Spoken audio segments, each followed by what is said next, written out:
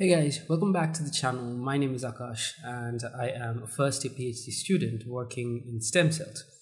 And in today's video, I'm going to review some books uh, that I've received recently. Well, uh, everyone who is preparing for this uh, CSIR NET or GATE or any of these national level exams in India, you probably know about the Pathfinder Academy. Uh, they have their own books and they have their own classes uh, that trains students specifically for these different kinds of exams. So Pathfinder Academy was kind enough to send their latest edition of all the books that they have on life sciences and they asked me to do a review of that. But whatever I'm going to say, that's going to be my own uh, views and uh, Pathfinder is not paying me to do all this. Uh, they are not paying me to say whatever I'm going to say.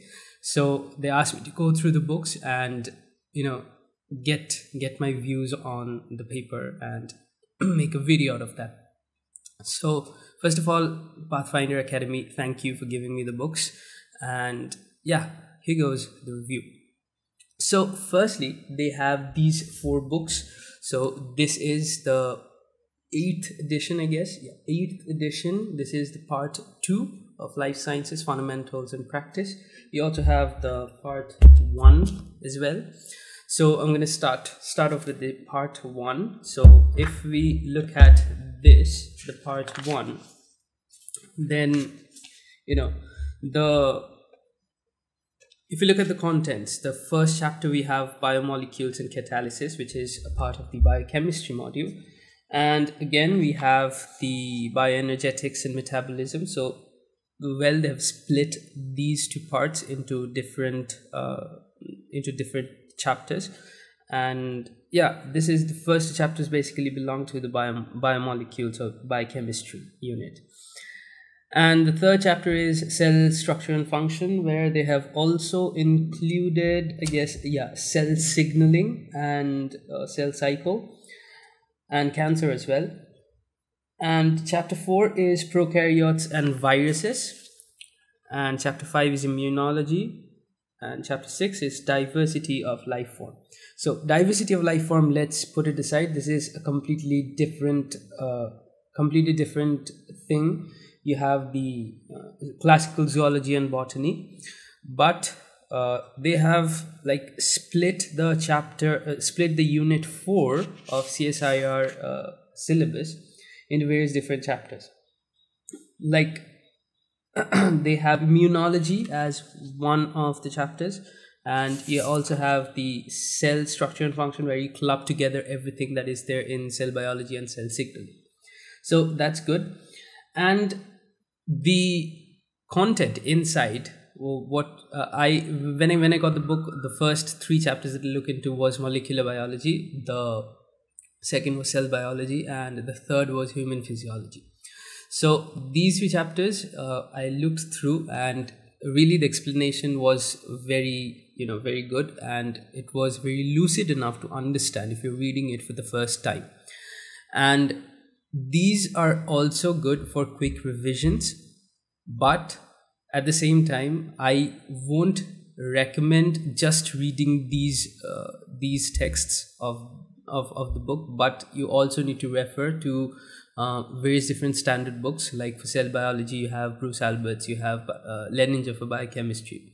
So once you go through the fundamental concepts over there then you can come to this and then you can just you know scope the subject or scope the topic from this uh, book but whatever it is the content is very curated for the students who are uh, giving any kind of exams national level exams in uh, india whether it be CSIR-NET or gate or any other exams per se. So that goes for the first edition. Uh, i mean the first uh, part of the eighth edition the second part of the 8th edition and mind it the 8th edition is the latest. If you want to buy it you need to con- contact pathfinder and uh, they can give you the uh, they can give you the 8th uh, i mean the 8th edition all the i mean 8th edition the part 1 and the part 2 now if we look at the parts 2 the book number 2 of the 8th edition you basically have the first chapter starting with genetics and you have everything in genetics clubbed into this chapter. That is really good. The second chapter you have recombinant dna technology which comes under the unit 13 of uh, csir syllabus. Then you have plant physiology and development uh, which covers almost everything that you need to know about plant physiology. And then you have human physiology.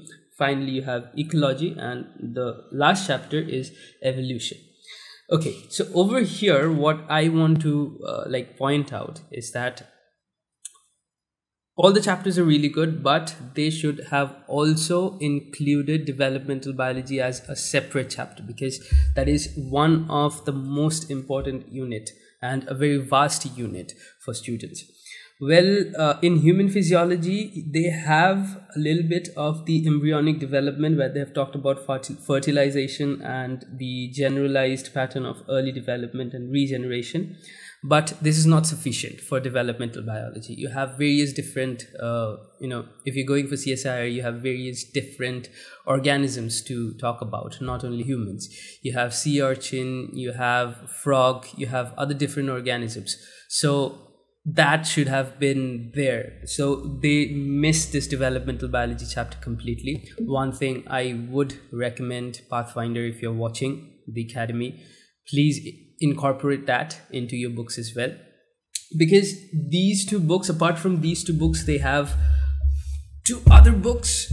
Oh god this is really heavy.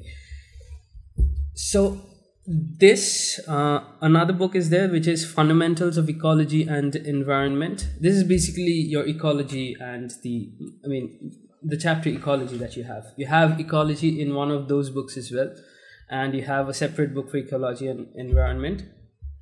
And the final book this is really good. This is the biophysics and molecular biology. You have all the techniques over here and trust me the techniques are really well uh, you know described in this book. So if you want to know about the techniques and you're not getting any books to do that. Although there are a lot of standard books for reading the fundamentals and basics of the techniques uh, you can refer to this book biophysics and the molecular biology tools and techniques.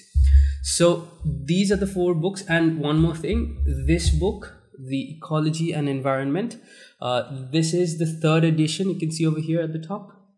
And um, the biophysics and the molecular biology this is the fourth edition. But the other two books those were the eighth edition. So these are all the latest editions uh, but um, uh, these two uh, these two are uh, i mean very new rather than those two uh, big books the life sciences fundamental uh, fundamentals and practice part 1 and 2 so overall um, what i would say is the books are really good um, but uh, that one thing that i pointed out the developmental biology part needs to be included. The animal developmental biology the plant developmental biology is there because you have a dedicated chapter for uh, plant this plant uh, physiology and development but the animal developmental biology is missing. That i highly recommend that you incorporate that. And um, uh, the overall experience while i was reading those chapter of molecular biology and everything those were really good. The diagrams the explanation the elaborate uh, explanations were really really good. I mean if you are a student and you're reading it for the first time uh, you would probably understand by reading just a few lines so that's there so that's my honest opinion about all these different four books that I have.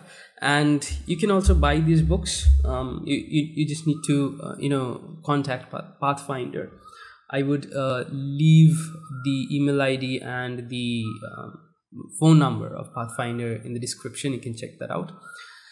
And yeah, whatever I said, uh, like I said before, it is Pathfinder is not paying me to say all this. Uh, whatever I felt, I have given a review, and hope this helps, and hope you have better experience while you're reading these books.